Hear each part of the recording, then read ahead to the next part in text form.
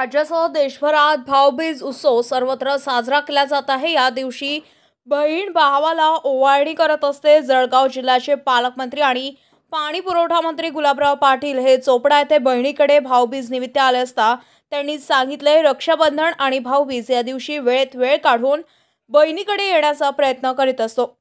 बहिणीच्या आशीर्वादाने आपल्या कामाला स्फूर्ती मिळत असते. बहिणीचे आशीर्वाद आईसारखे असतात. तसेच हे सरकार कायम शेतकऱ्यांच्या पाठीशी आहे असेही गुलाबराव पाटील म्हणालेत. हे केलेलं आहे की हे जे सरकार आहे हे शेतकऱ्यांच्या विरुद्ध अं, सरकार आहे. तर दिवाळीनंतर राज्यपाल यांच्याकडे सरकार बरखास्तीचं मागणी करणार काय विरोधी पक्षाचं कामच ते आहे की सरकार बरखास्ती करण्याचं मागणी करण्याचं काम त्यांचं आहे. पण बरखास्ती करण्याकरता काही नॉर्म्स आहे मी नाना पटोलेंना सांगेल एवढा मोठा माणूस नाही. पण शेवटी सरकार हे तीच सरकार आहे. एकशे सत्तर लोकांच्या पाठिंब्यांचं हे सरकार आहे. शेतकऱ्यांना दिलासा देणारं सरकार आहे. आणि त्यामुळे विरोधी पक्षाने आपल्या आमदारांना सांभाळून ठेवण्याकरता मधूनमधून अशा गोष्टी बोलणे गरजेचे असते. भाऊ काल आदित्य ठाकरेंनी एक वक्तव्य केलं आहे की हे जे सरकार आहे हे असंविधानिक सरकार आहे आणि हे फक्त घोषणेबाज करतात. घोषणा देत राहतात पण प्रत्यक्ष अंमलबजावणी करत नाही. आदित्य साहेबांना हे सांगावं की अडीच वर्षामध्ये आपण किती जिल्ह्यामध्ये फिरलात किती लोकांशी संपर्क साधला किती लोक जिल्ह्यांच्या बैठकी घेतल्या किती आमदारांना आपण भेटला याच्यावरून आपली संवेदना काय होती? ही गुलाबराव पाटलाला किंवा इतर लोकांना सांगण्याची गरज नाही. तुम्ही जर संवेदनशील राहिला असतात तर हे सरकार अस्तित्वातच आलं नसतं. बेसंवेदनशील माणसाने संवेदनाच्या गोष्टी करणं मुखातून शोभत नाही. भाऊ त्यांनी परत एक आरोप केलेला आहे की आमदारांनी फुग्यांवरनं भांडण सुरू आहे. भांडण आहे कुटुंब आहे तर भांडण होणारच आहे. तर शेवटी त्यांच्या काळातही भांडण होतं. आताही भांडण आहे. त्यांच्या काळात थोडं जोरात होतं. आता थोडं छोटं आहे. भाऊ शेवटचा प्रश्न महा आपला मनसे नेत्यांसोबत जवळीक वाढलेली आहे. येणाऱ्या काळामध्ये महाविकास आघाडीसोबत महायुती नागरिकांना पाहायला मिळेल का? शेवटी हा निर्णय एकनाथ शिंदे आणि भारतीय जनता पार्टीच्या नेत्यांचा आहे. पण जेव्हा सगळ्या नदी नाले एकत्र होतात तेव्हा त्याचं पात्र मोठं होत असतं. त्यामुळे तिघं नद्या एकत्र झालं तर हे पात्र फार मोठं होईल. देव करो आणि हे तिघांची युती हो अशी सगळ्यांची अपेक्षा आहे. हा विषय वेगळा आहे आणि नाता हा विषय वेगळा आहे. ज्यावेळेस आलो त्यावेळेस सुद्धा महाविकास आघाडीमध्ये योगायोगाने याच खात्याचा मंत्री होतो आणि या जिल्ह्याचा पालकमंत्री होतो.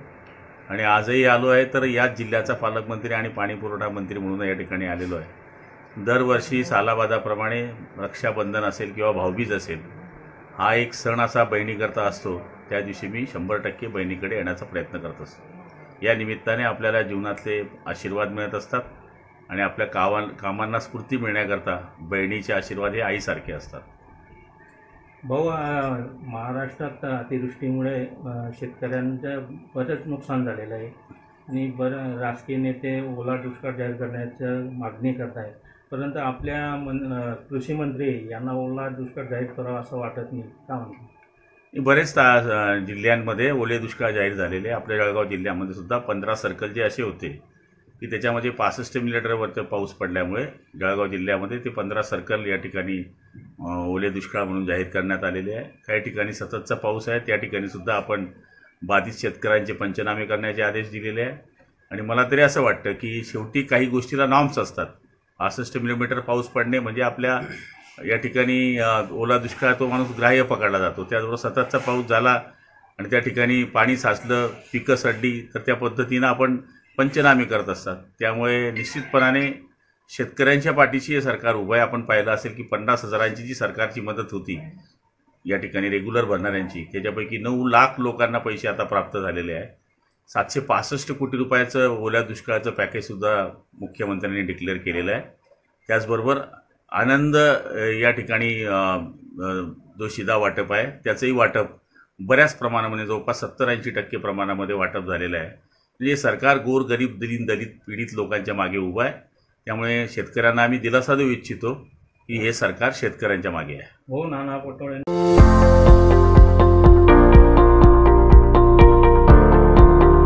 जळगाव जिल्ह्यातील धरणगाव चोपडा रस्त्यावर धरणगाव शहराहून चार किलोमीटर अंतरावर पिंपळे फाट्याजवळ असलेला आमचा पेट्रोल पंप.